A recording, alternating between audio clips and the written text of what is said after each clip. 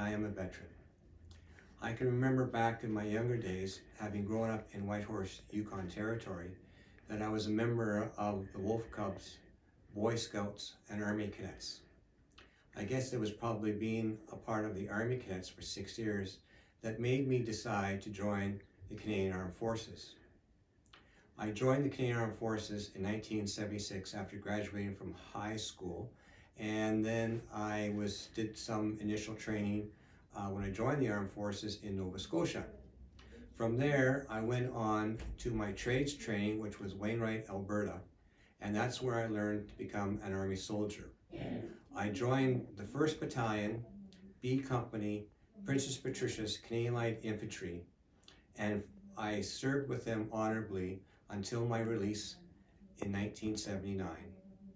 During that time, when I was in the Army, our battalion, the unit that I was stationed with in Calgary, Alberta, had volunteered itself to go on a UN mission, United, United Nations mission, to the island of Cyprus. On that particular island, there was two countries that wanted to fight against each other, and the UN was there to keep the peace. There was the Turks, who were on the northern side of the island, and the Greeks on the bottom of the southern part of the island. My mission there with my unit was there for six months. During that time, I was a frontline soldier at an observation post, and all we were there today, uh, all we were there during that day uh, was to watch and to see, to make sure there was no troop movements or any other things that would cause an incident that might arouse uh, an outbreak or maybe possibly even a war. During the six months that I was there, nothing happened of any great importance, but it did uh, uh, show me what another part of the country was like. Having grown up in the Yukon, I led somewhat of a sheltered life because I was never exposed to anything of this great magnitude. Um, I can also say that uh, after I served in the military, I was released and I went to into civilian life. From there, I, um, I went to school, post-secondary ed education, and I learned a trade of a land surveyor, which uh, I would go home and work for a company when I was going to, uh, after, during the summer months, and I would work uh, doing land surveying, mining claims, highway uh, uh, easements and allotments. Um, it was then uh, around in 1998 97, 98, um, pardon me, I, uh, it was around in 1988 when I decided to join the Royal Canadian Mounted Police. Uh, I joined the Mounted Police uh, from the Yukon when I was living there, and I went to Regina for six months training as a police officer.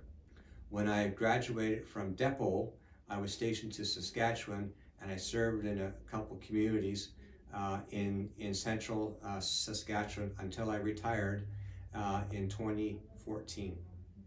Um, having, re having retired from the Mounted Police, I then uh, stayed in, um, in the Battlefords. That was my last posting. And uh, my wife and I were content on living here. Uh, I volunteer for the Legion. I'm a Legion member. I volunteer for the Fred Light Museum. I volunteer for the Royal Canadian Humane Association, which deals with bravery awards for people from Saskatchewan. And I also volunteer for the Last Post Fund, which makes us looking for um, unmarked military graves. Other than that, I also help out at the detachment uh, where I may be called back to work occasionally to drive prisoners uh, if uh, needed. Um, being a veteran is a very proud thing uh, in, in Canada. It's something that we need to do to remember um, people that have fought for this country before. I never seen any combat, but in my time when I was in the military, my mission was to keep the peace. Um, I do know, or did know, uh, some uh, First World War, Second World War, and Korean War veterans. And as we well know, uh, there's not too many of them left around in Canada. They are, uh, they're very few and far between.